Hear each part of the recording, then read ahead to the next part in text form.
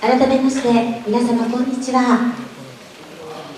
本日はお忙しいお時間に公定期発生より1年本日振り返るこのフォーラムにご出席をいただきまして誠にありがとうございます。ご挨拶が遅れましたが私本日の司会進行を務めさせていただきます。フリーアナウンサーの東滅家あやみと申します。どうぞ皆様不慣れな司会でご迷惑もおかけするかとは存じますが温かく見守っていただきたいと存じます。よろしくお願い申し上げます。ありがとうございますそれではフォーラムを始めます前にここで少しお時間をいただきまして公定期で殺処分をされました家畜に対してここで黙祷を捧げたいと存じます。恐縮でございますが皆様ご起立をいただきご協力よろしくお願いいたします。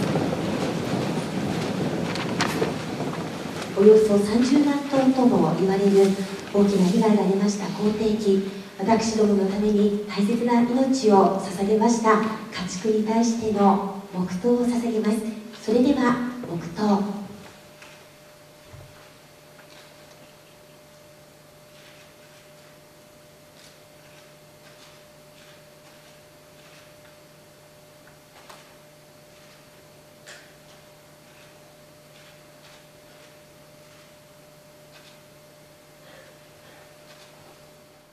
ご挨拶を申し上げます。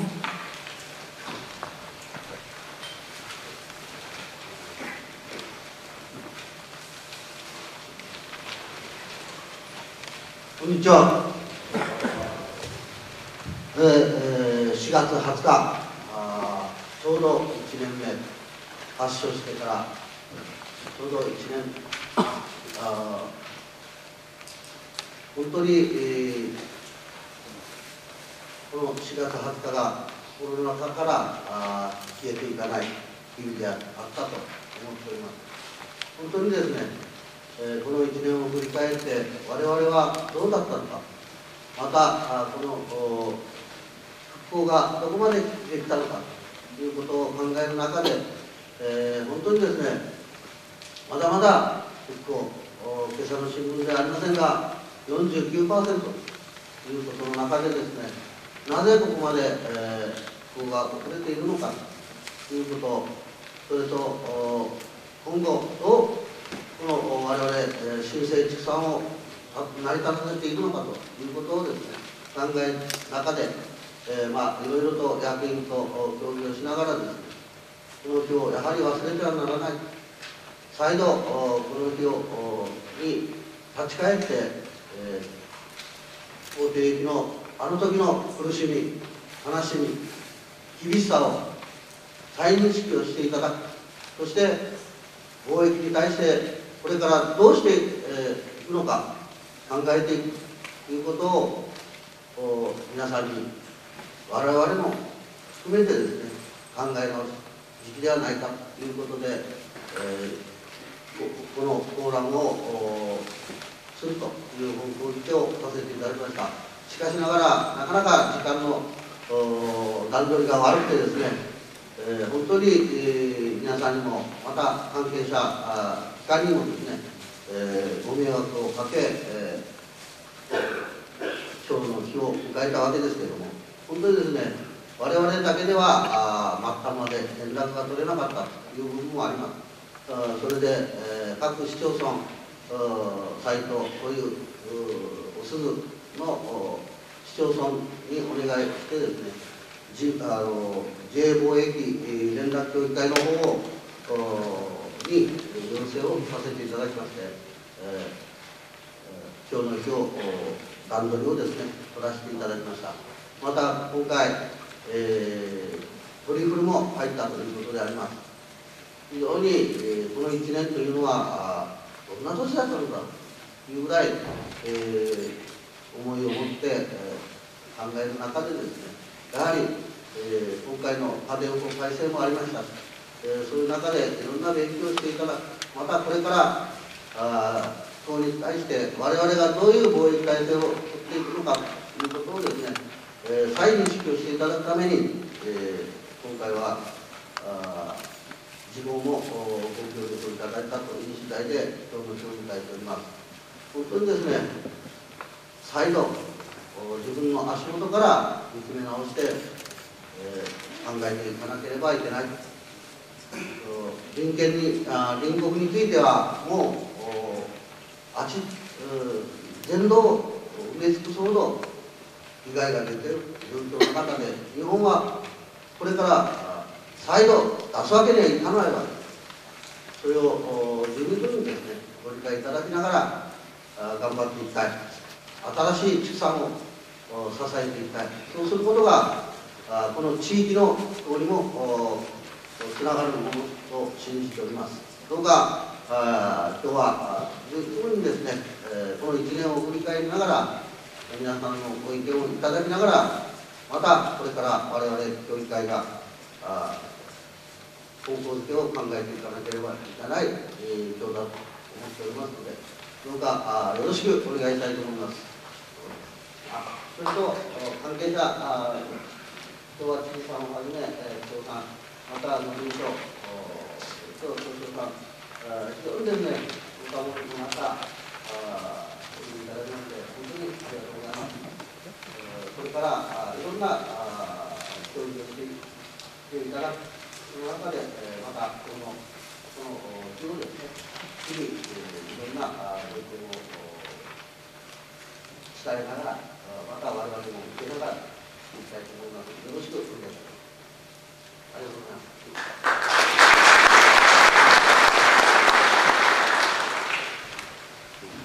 ありがとうございました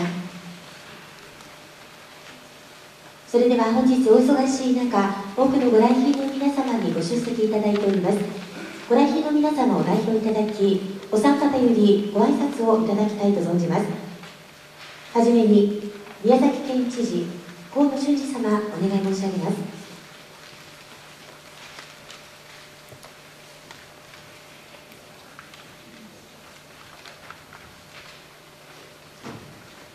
皆さんこんにちは、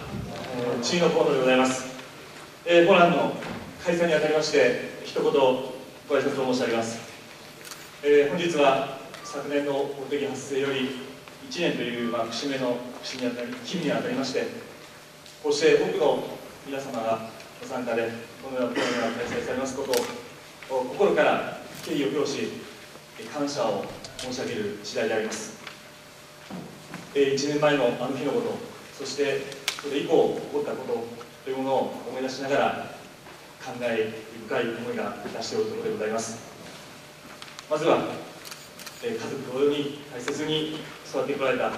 約30万頭もの家畜が犠牲となる結果となりましたことにつきまして改めて心からお見舞いを申し上げますとともに当時、まあ、知事さらには、まあ、当時の農政部長が体調を崩した時には農政部長の職務代理も務めておりました。当事者と関わって当事者として関わっておりました私といたしましてはそのような結果を生したことを本当に申し訳なく思っておるところであります、えー、県全体の約4分の1にある4分の1にあたる牛や豚が処分されたということになるわけでありまして畜産業のみならず本県の経済また県民生活に深い傷跡を残したわけであります。経済の被害額約2350億というような試算もなされているところでございますがそれ以上に深い傷が残っておることをまず直視する必要があるかと考えています。この厄介な公的ウイルスを封じ込める戦いの過程では我が国で初めてとなるワクチンの接種を含め畜産農家の皆さんをはじめ県内外から多くの皆様の力をいただきながらご協力をいただきながらなんとか封じ込めることができたわけであります。改めて心から感謝を申し上げたいと思っております。またその過程で全国から多くの宮崎頑張れ頑張れという温かいご声援ご支援を賜りました。多くの支援多くの献金も賜ったところであります。どれだけえー、勇気づけられ、元気づけられたか分かりません。えー、また、あの、国はですね、太陽のメロディーという我々が心を一つにできるような素晴らしい曲も作っていただいたところであります。本当に、え、感謝の目に堪えないところであります。私どもはそういう法定期そして、まあ、鳥インフルエンザ、下枝の時もそうでありましたが全国から寄せられた支援に対する感謝の思いで今現在東日本大震災で大変な思いをしておられる皆さんに対して恩返しの思いを込めてさまざまな人的な支援物的な支援それから被災者の受け入れそれから現金を取り組んでいるところでございます。全国各地でなんとか助けてあげようという思いで、えー、懸命な努力をなされている中で本県の場合はこの地域であれだけお世話になったんだからという強い県民の思いがありましてもっともっと何かできないだろうかという国の皆さんの強い、えー、知った激励をいただきながら県として市町村や経済団体県民の皆様とも力を合わせてその感謝の思いを届けるべく今取り組んでいるところでございます、えーまあ、今日も決戦沼に担当者が行きまして、まあ、漁業の再生等を含めて議論しているところでございますもこの感謝の思いを届けるべく全力で支援してまいりたいというふうに考えております。法定期が収束をしましたのは収束宣言をしましたのは昨年の8月27日であります、えー、その後さまざまなことがございました。嬉しかったのは私あの知事の代理で、えー、高千穂の初競りに行った時であります。本当にあのこれでようやくスタートなんだなというあの感動ですあの時の牛の鳴き声というのを忘れないという思いですし、えー、再スタートがやはり高千穂であった、まあ、天孫降臨の地、まあ、そのあの場所であったというところがですねこれから元気にやっていかなくてはならないというメッセージではなかったのかということを今でも思っているところでございます。収束宣言後のことで2点ちょっと触れたいんでありますが1点は会長の話にもありました、まあ、韓国アジアの状況であります。残念ながら韓国で全土に蔓延をいたしまして全土でワクチン接種を行うさらには中国台湾で、えー、まあもう独学をしている大変厳しい状況があるわけであります。ただ韓国の実態を見るにつけ思うことがあるんですがやっぱり宮崎でなんとか封じ込めることができたんだということでございます。30万トンの犠牲を払ったわけでありますがなんとか日本の畜産を守るために多くの皆さんの犠牲を払って涙と努力の上でなんとか通れることができたそれは一つ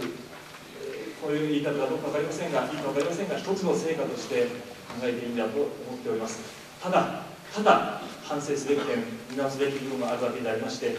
えー、それが、まあ、家電法の体制でありますが今回県が定めました。新たな貿易マニュアルそういった形で生かして今後二度と発生させていないその取り組みに生かしていきたいというふうに思っておられるわけであります。なんとか宮崎で閉じ込めることができたということとやっぱりもう一つはアジアでそういう状況ですからいついかなる時にこの宮崎のみなく全国各地でこのウイルスが侵入しないとも限らない大変危機的な状況になるということでございます。宮崎は昨年の辛い思いをしただけに絶対にこれは起こしてはいけないという強い決意で今月を今特別貿易月間ということでさまざまな取り組みをしております。一昨日はこの新たな貿易マニュアルの研修会350人の参加を得て、えーまあ、九州各県の参加者も得て、えー、開催をしております。この貿易マニュアルというのは宮崎県が作ったものなんですが多くの皆さんにご協力いただきながら昨年封じ込めることができた。その経験を文字に落としてマニュアルとしてやったものですから宮崎だけのものではない全国の畜産関係者全国の皆さんの共有財産だという思いがいたしております。今後さまざまな見直しを行いながらも今後二度と日本国内に入れさせない発生させないという思いでこのマニュアルというものをさらに磨き上げていく、みなしをしていくというものを必要だというふうに考えておるところであります。えー、それからもうもう一点ですが、えー、収束宣言後の動きということで、今、アジアの動きがありましたが、もう一点は、あの知事の知事が交代をしたということであります。東国原知事が残念ながら、固定化の再生を遂げていこうというときに、まあ、9割の支持率をながら、まあ、前知事としては一つの責任を取りたかったということで深い気で退任をされたわけでありますが私といたしましては、まあ、先ほど言いましたような一員としてまた職務代理として関わった人間として、えー、この法廷からの再生いわばマイナスからのスタートになるわけでありますがその重荷を多くの県民の皆様と共に背負って励んでいくべきではないかそれが一つの責任の取り方ではないかという思いで、えー、まあ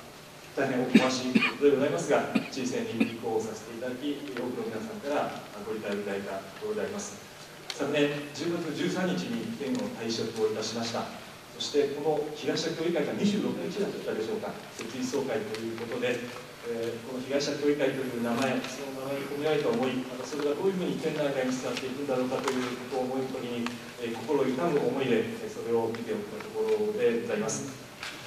えー固定感再生法というものを第一番の施策に掲げて、えー、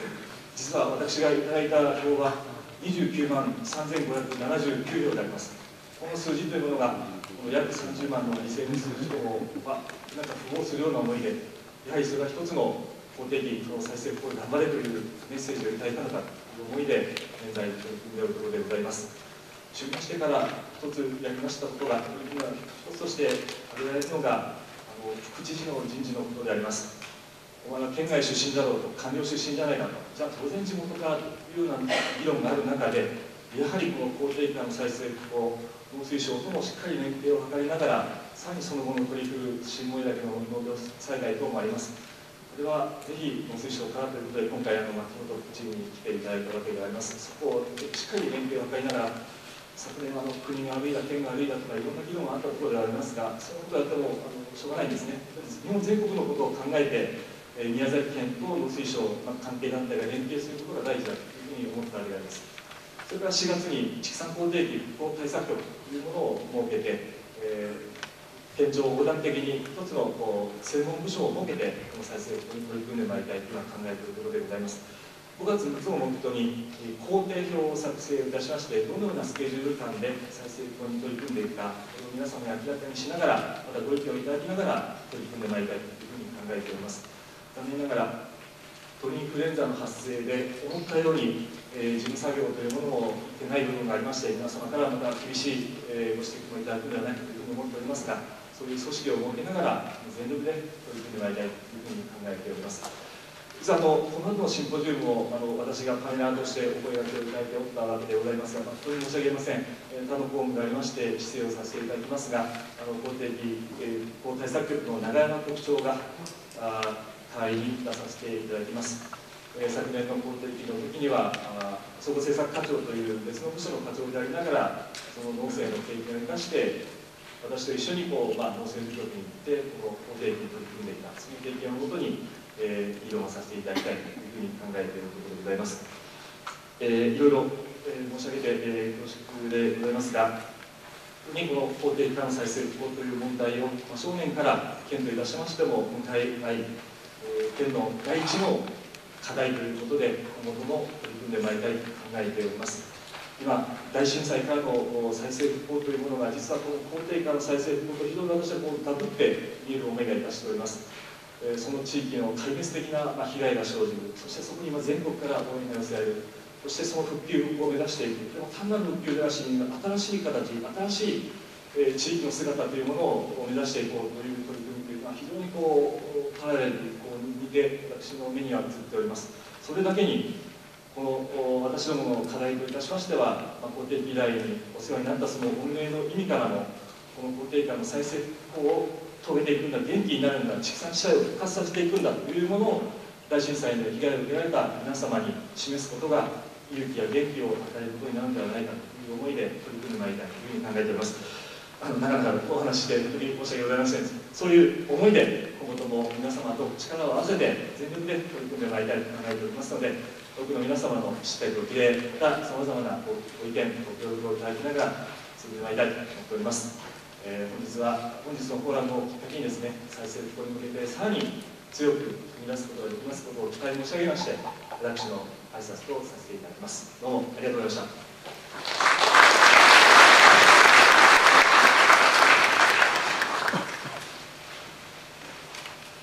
河野様ありがとうございました。続きまして再度市長橋田和美様お願い申し上げます。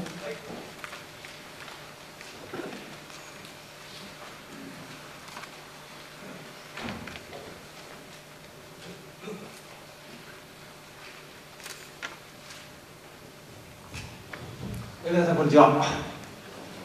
えー、本来であれば川上町長さんがですねここでご挨拶されるのが必要だと思いますけれどもちょっと別な戦いをしておられますので、えー、私は関係市長をやめさせていただきましてですね、えー、一言ご挨拶を申し上げたいと思います、えー、校庭駅の発生1年を振り返ってというので、えー、被害者の会の皆さん方があ被災されましてですね、えー、その研修をされる。そしてまたあ風化させないように意識を高めていこうという今日はその会じゃないかなと思っています。私は非常に、えー、意義のある重要な会ではないかなと思っています、えー、1年前からずっとですね、えー、刑事的に思い出しますと本当は思い出したくないということからでありましてしかし風化をさせてはいけないと絶えず私もっております。なんとかあこの家畜の本当にこの申し訳ないという気持ちとですね家畜に対して申し訳ないと。そしてまた農家の皆さん方の気持ちを指しますとなんとかしなきゃいけないと。そういう気持ち。それを間に立ってですね関係、えー、部長の皆様方と一緒にね国や県に対していろいろと交渉を進めてまいりました。そしてまた農家の皆さん方のご意見をいただきながらそして、えー、共に戦おうということで、えー、見えない敵を相手にそしてまた先が見えないといいますかいつ終わるとも戦わないあともわからないそういった戦いに、えー、挑んできたわけでありまして昨年の今日から収束するまで8月21日まで130日間戦ってまいりました、えー、それから復興に向かって、一生懸命ですね皆様と一緒にですね取り組んできたわけでございます、えー、幸い、えー、国も県も一生懸命ですね取り組んでいただいておりましてまたその準備が着々と進みつつあります。また復興に対する支援もいただいているわけでございます。ちょうどそんな頃に3月11日に東日本の大震災が起こりましてですね大変な惨事を我々はテレビ新聞等で伺っております。そのことを受けて口蹄疫あるいは鳥インフルエンザで殺傷を受けた農家の方々がもういっぺん頑張ろうと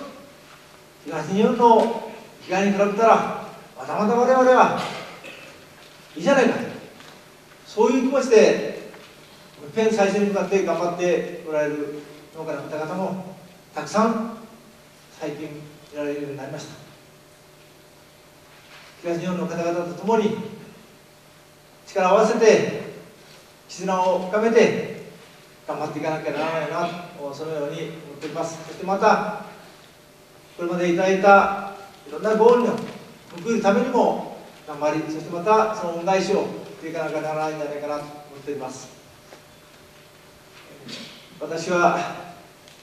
一つお願いがあるんですがこの会が被害者の会と被害者協議会となっていますがぜひこれからは近い将来で結構でありますが公的からの復興再生を目指す絆の会というような前向きな会にしていただくとありがたいな。とそして農家の皆さん方中心に関係団体住民の方々そして行政も含めて一丸となって取り組んでいく姿を姿勢を今後示していきたいなとそのように思っております、えー、この場をお借りして、えー、余計なことを申し上げましたけどもこのフォーラムを機会にそしてまたこれからも風化させることなく復興に向かって力強く皆様と共に歩んでいくことをお誓い申し上げましてご挨拶に返させていただきます。本当にありがとうございます。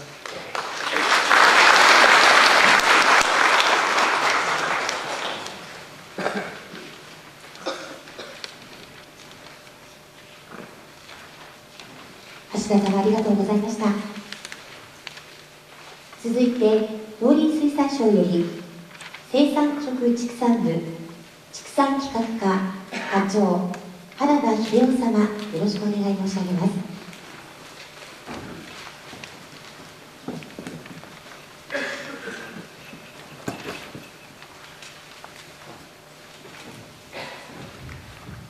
え、皆さん、お忙しい中、えー、お集まりいただきまして、えー、誠にご苦労様でございます。えー、私は、昨年の8月にですね、あのこの場で、えー、慰霊祭などにですね、えー、会議がありましたときに、お邪魔しました。えー、久しぶりにまたこのようにして皆さんをお会いして、ありがとう申し上げます。あのー、今吉松会長、河野知事、橋田市長と、それぞれの立場での思いを語っていただきまして、まあ、私として農農水省としてですね、これに積み重ねることはございません。えー、韓国の公定期の再発発生を見たときにですね、いかにこの病気が、あこの病気を制圧するのが大変かということは本当によく分かると思います。その中で、えー、去年は宮崎で努めていただいて、えー、今この日を迎えているということ、この後のトリインフルエンザもですね、えー、全国各地で起こりましたが、えー、着々と対策を取っていただきまして、えー、公的もトリインフルエンザも、まあ、日本からは、えー、いなくなっているということでございます。その中で、えー、私、今、生産局でございますので、えー、先ほどから皆さんがおっしゃっているように、えー、ここに向けてですね、えー、まだ道半ばと思いますけれども、どれだけの支援をできるのか、引き続きですね、えー、そうしたことを考えてもらいたいと思います。えー、今日はそういう道筋の中で、えー、また改めて皆さんからのお話を聞いてですね、えー、次のステップに向けていきたいと思っておりますので、よろしくお願いします。参加の方、ありがとうございます。